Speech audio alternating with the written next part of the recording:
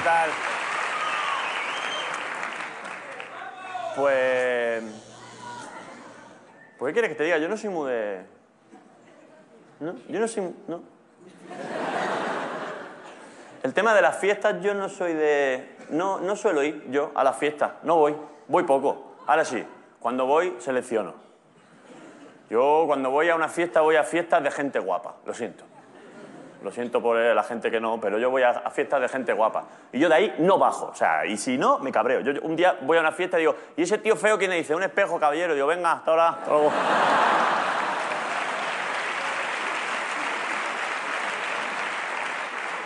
Sí, porque yo creo que soy torpe, soy torpe social. No sé estar, no sé estar. Pero cuando sé estar, estoy bien. Por ejemplo, la última fiesta que estuve en Málaga, me acuerdo que estuve hablando con una chiquilla. ¡Oh! Qué maravilla, de verdad, maravillosa, ¿eh? Era fabulosa. Un Madrid-Barça, ¿de acuerdo? Un partidazo. Bien, bien. Empezamos, bueno, empezamos, empezamos a hablar, ¿eh? La- mm, fluye la cosa. No fluyen todas las cosas, que a mí me gustaría que fluyeran, pero fluyen cosas. Y nada, pues me envalentono, me envalentono, me vengo arriba y le pido una cita. Y ella me dice, claro, el hombre es bueno por naturaleza. Rousseau.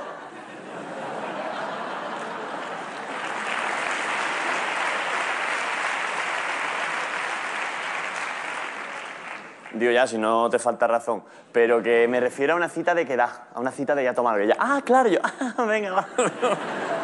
Bueno, decidme, chicos, chicas, decidme si no me lo ocurre. La invito a cenar a ese típico restaurante alternativo que tanto gusta a vosotras, chicas, que es el típico restaurante alternativo, pero con respecto al PVP, con letra pequeña pone por los cojones. Pero bueno, que si una noche hay que gastarse 15 eurazos, se los gasta uno y no pasa nada. Llegamos al restaurante mm, y antes, nada más, que llega- nada más que llegamos en la entrada nos viene a recibir como un encargado así como muy bien arreglado, con, un- con una especie así como de paño, como de mantel en el brazo. Y digo, ¿por qué tiene un mantel en el brazo? ¿Por qué no se te ve el brazo? ¿Qué te pasa en el brazo? ¿Qué estáis haciendo ahí dentro? Además, traes perro que tipo yo no voy a pedir carne. ¿Qué hace? ¿Qué pasa en tu brazo? Quiero ver tu brazo. Pero bueno, son sitios alternativos. Digo, yo no voy a hablar por no meter la pata, ¿de acuerdo? Total, que a los dos minutos viene a tomarnos nota un metre, que yo me quedo mirando y digo, parecen más altos. Y nos dice el metre, ¿qué van a tomar los señores? Digo, los señores no sé, que digo yo, que ya que está aquí, tómanos nota nosotros. Van a estar tomando nota a distancia. Digo, mira.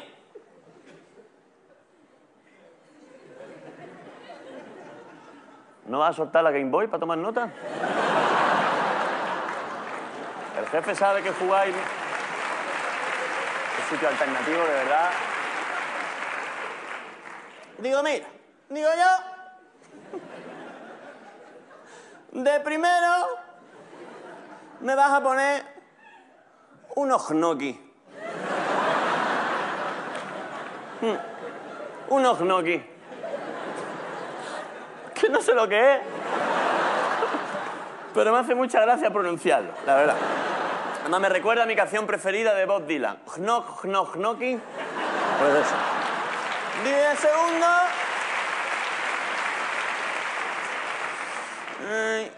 Digo, como no hay filete empanado. Digo, pues ponme un escalope, que tampoco sé lo que es, pero venga, por probar cosas nuevas. A lo loco. Y el camarero allí. Tin, tin, tirirín, tirirín, tirirín, tin, tin, tirirín, tirirín. ¿Y la señorita qué va a tomar? Mm, yo una ensalada César. Digo, ¿de qué conoce al camarero?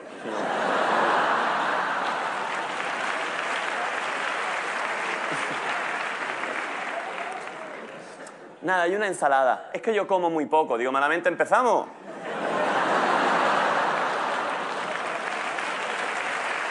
Total. Empieza la cena, empieza la conversación, como no puede ser de otra manera, ella bla, bla, bla, bla, bla, bla, bla, bla. Yo sí, sí, sí, sí, sí, como no, claro que sí, qué razón lleva. Bien, llega la hora de los postres. ¿Qué van a tomar de postre? Digo.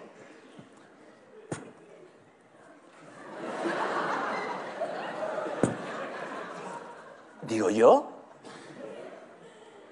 un brownie. Uno entero para mí. Un brownie. One brownie. Un plato. One plate. Un tenedor.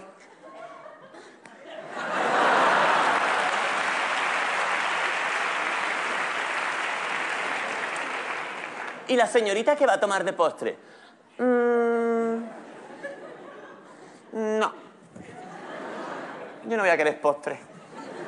Yo cojo del tuyo. ¡Ah! Que si no te vas a comer postre entero, te pide uno y yo me como uno y medio. Pero a mí mi postre no me lo toques, coño. ¿Qué cola? Siempre la cagáis al final, siempre la cagáis al final. Y muchas veces, cuando voy por...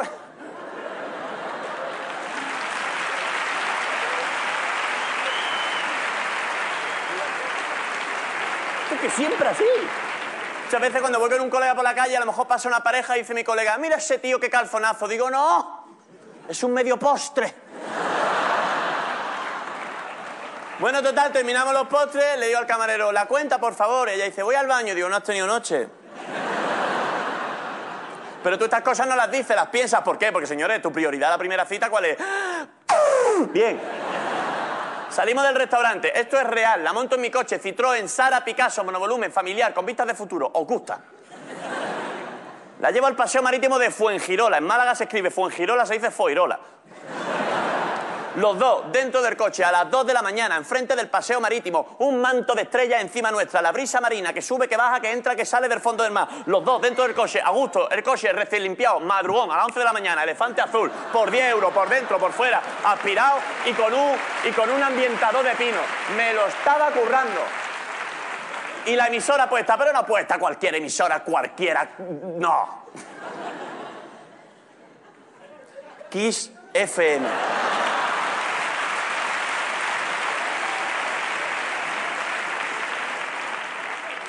Chicos, chicas, ¿me lo ocurre o no me lo ocurre? Bueno, pues de repente ella empieza a hacer cosas extrañas, a tener comportamientos raros, y no lo vi venir. No lo vi venir. De repente ella empieza así como a tocarse el pelo, como a tocarse el pelo, digo, ¡ay, que tiene piojo, Filmi, champú, Filmi, mamá! De repente empieza así como a tocarse el cuerpo, como a tocarse el cuerpo, digo, ¡ay, que se le están cayendo los piojos por ahí! Se quita el cinturón de, seguridad, se sienta la ortomía horcajada. Horcajada lleva H, ¿por qué? Porque Dani educa y divierte. Mira, me coge aquí del pecho, me pega un pellizco y yo los pelos, los pelos, los pelos, los pelos, los pelos. Mira, los ojos abiertos, inyectado en salmorejo. Digo, aquí una vena, digo, has puesto la DSL en tu cuerpo y no me has dicho nada. Empieza como a olerme de cerca, ah, ah, quitándome la osmosis. A Maradona perdía, a Maradona perdía. En ese momento me mira y me dice, mira, se había quedado incluso hasta de tanto sorber el habitáculo sin aire. Hablábamos y no se oía. De repente, a los dos segundos me mira y me dice, Dani, Dani, extasiame. ¿Vosotros por esto qué entendéis?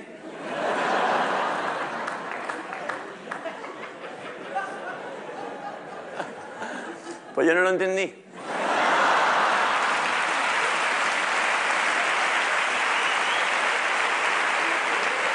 ¿Sabéis? ¿Sabéis qué fue lo que yo hice?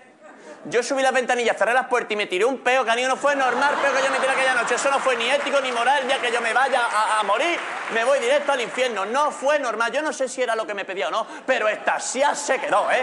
Extasiada se quedó. Que tenías que mirarla, tenías que mirarla pegando golpes en la puerta como queriendo salir, la hija de puta, como el típico ca- cachorro que te da tú dos horas y al soida con las pezuñas. Digo, no va a salir, no va a salir. Y si no, a ver si o más clara. ¡Hórtate de metano!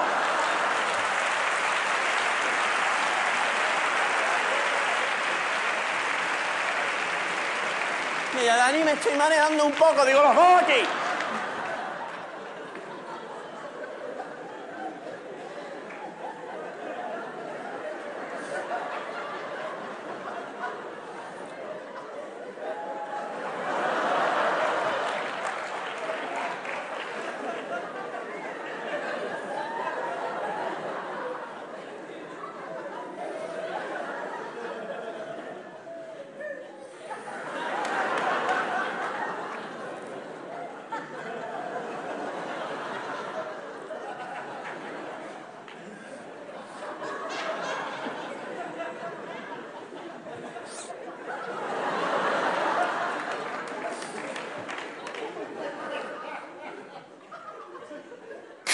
Kiss FM.